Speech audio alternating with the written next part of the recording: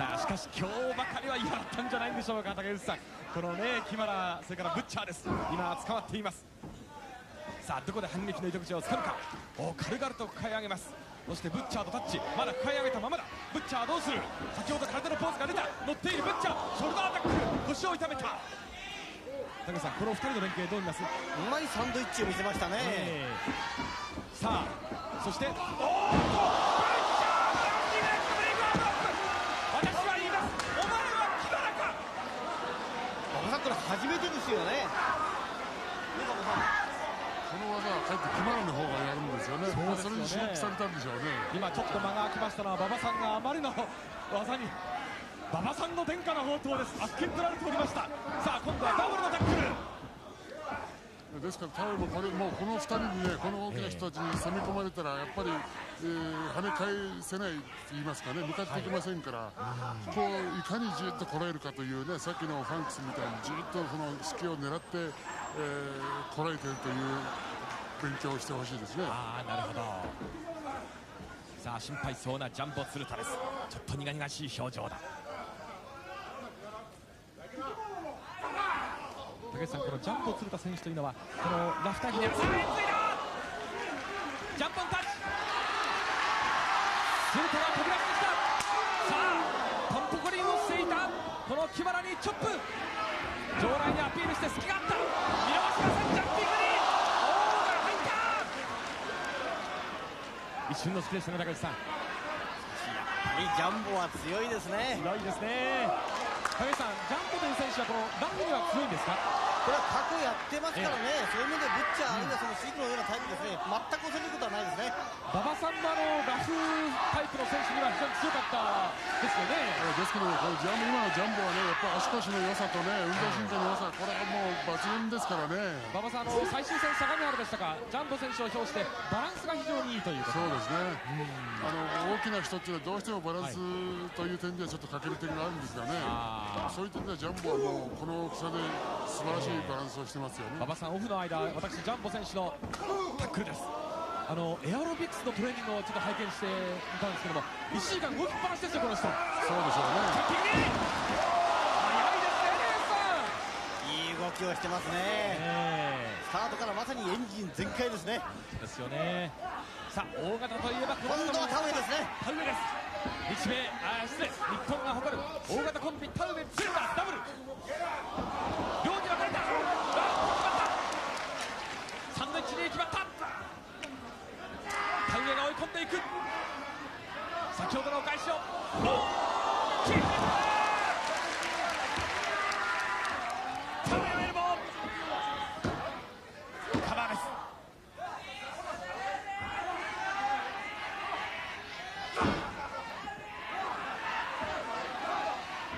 ちょっと打っていく白子好きには注意だぞドロップ頭にいった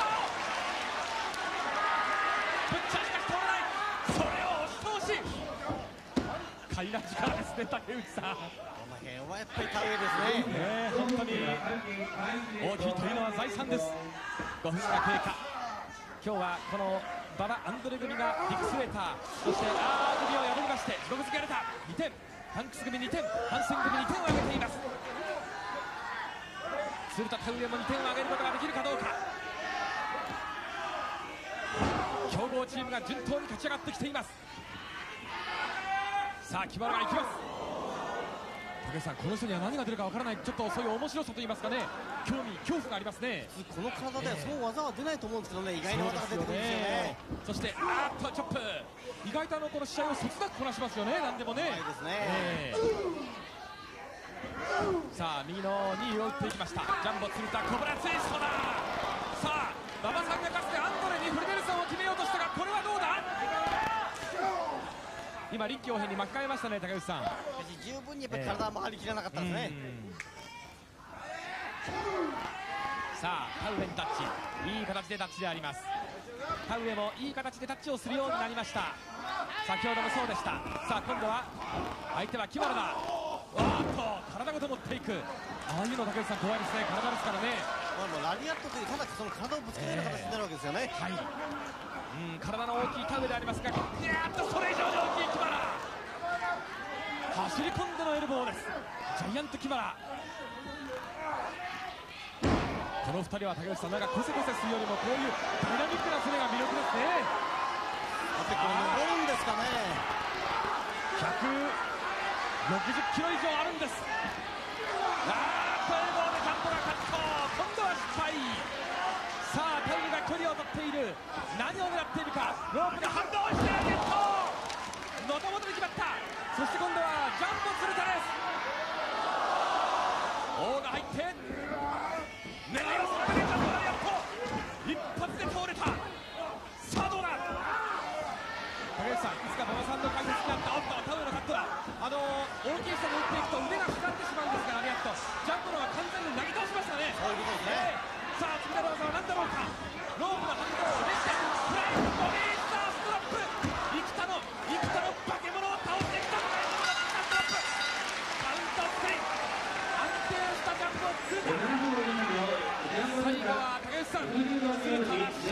の仕方。こういったのを知っていますか相手の弱点をうまくつきましたね。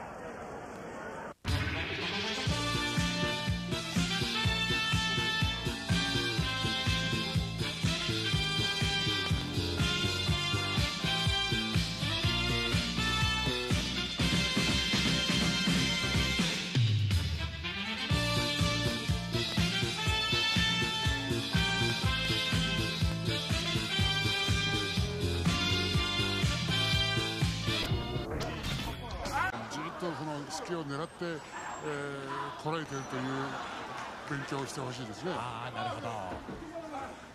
さあ心配そうなジャンボ鶴田です。ちょっと苦々しい表情だ。竹内さんこのジャンボ鶴田選手というのはこのラフターにねさあついだジャンプオンタッチ鶴田が飛び出してきたさあトンポコリンをしていたこの木原にチョップ場内にアピールして隙があった。見逃しませんジャンピングにオーが入った。一瞬のスペースが竹内さんジャンボは強いですね。強いですねさんジャンボという選手はこのランには強いんですか？これは過去やってますからね、そういう意味でブッチャー、あるいはそのシークのようなタイプですね、全く恐れることはないですね。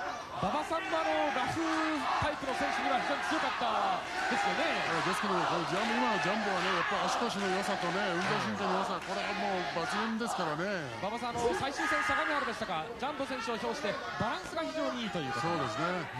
あの大きな人っていうのはどうしてもバランスという点ではちょっと欠ける点があるんですがね。あそういう点ではジャンボはもうこの大きさで素晴らしいバランスをしてますよね。馬場さんオフの間私ジャンボ選手のタックルですあのエアロビクスのトレーニングをちょっと拝見してみたんですけども1時間動きっぱなしですよこの人そうでしょうね。い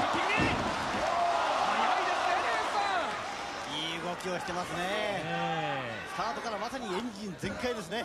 えですよねさあ大型といえばこの人も今度は田植えですね。田植えです日米あー失礼日本が誇る大型コンビ田植え鶴田ダブル両に分かれたあー決まったサンドイッチに決まった谷江が追い込んでいく先ほどのお返しをおー決めた田植えのエルボーカバーです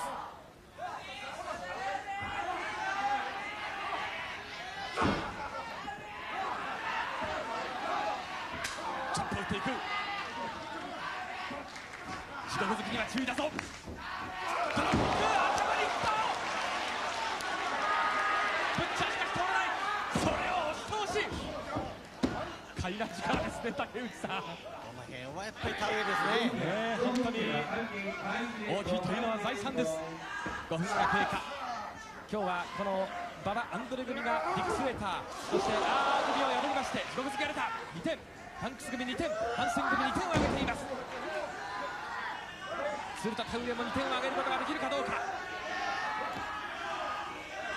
強豪チームが順当に勝ち上がってきています。さあ木原が行きます。竹内さん、この人には何が出るかわからない、ちょっとそういう面白さといいますかね、興味、恐怖がありますね。この体ではそう技は出ないと思うんですけどね、意外な技が出てくるんですよね。そして、あーっとチョップ、意外とあのこの試合をそつなくこなしますよね、なんでもね。さあ、しかし今日ばかりは嫌だったんじゃないんでしょうか、竹内さん。このね木村それからブッチャーです。今捕まっています。さあどこで反撃の糸口をつかむか。お軽々と抱え上げますそしてブッチャーとタッチ。まだ抱え上げたままだ。ブッチャーどうする？先ほど体のポーズが出た。乗っているブッチャー。ショルダーアタック。腰を痛めた。高橋さんこの2人の連携どう見ます、うまいサンドイッチを見せましたね、えーさあそしておーっとブッチャーブレイクアウト私は言います。お前は木原か。馬場さんこれ初めてですよねこの技はかえって決まらぬ方がやるんですよね。そうまあですよね。それに刺激されたんでしょうね。今ちょっと間が空きましたのは馬場さんがあまりの技に馬場さんの伝家の宝刀です。あっけに取られておりました。さあ今度はダブルのタックル。ですからタオルもこれもうこの2人にねこの大きな人たちに攻め込まれたらやっぱり、えー跳ね返せないと言いますかね。向かっていきませんから、こういかにじっとこらえるかというねさっきのファンクスみたいな。ねえ。ーさあ右の2位を打っていきました。ジャンボ鶴田コブラツイストだ。さあ馬場さんがかつてアンドレにフルネルソンを決めようとしたがこれはどうだ？今臨機応変に巻き替えましたね高橋さん。十分にやっぱり体も張り切らなかったですね、さあ田植えにタッチ。いい形でタッチであります。田植えもいい形でタッチをするようになりました。先ほどもそうでした。さあ今度は相手は木原だわーっと体ごと持っていく。ああいうの高橋さん怖いですね。体ですからね。まあ、もうラリアットというただその体をぶつけるような形になるわけですよね、はい。うん体の大きい田植えでありますがぐーっとそれ以上に大きい木原。走り込んでのエルボーです。ジャイアント木原。この2人は高橋さんなんかコセコセするよりもこういうダイナミックな攻めが魅力ですね。やっぱりこれ登るんですかね60キロ以上あるんです。